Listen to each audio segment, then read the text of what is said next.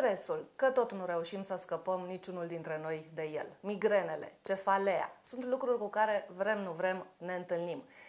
Deficitul de magneziu are vreun rol în apariția acestor uh, simptome, acestor uh, probleme neplăcute?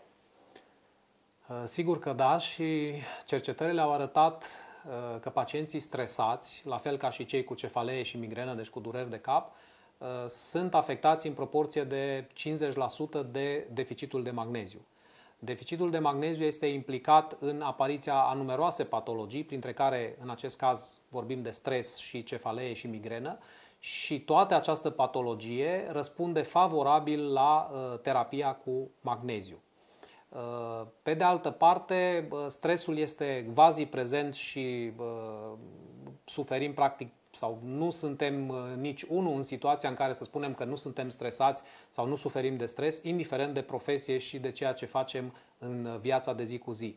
Din acest punct de vedere, uh, toți ar trebui să luăm magneziu și ar trebui să ne suplimentăm dieta cu un preparat cu magneziu, iar în ceea ce privește uh, cefalea și migrena, poate fi magneziu un remediu mai potrivit pentru această patologie decât clasicele antialgice și antiinflamatoare pe care le înghițim de multe ori uh, nejudicios și nejustificat.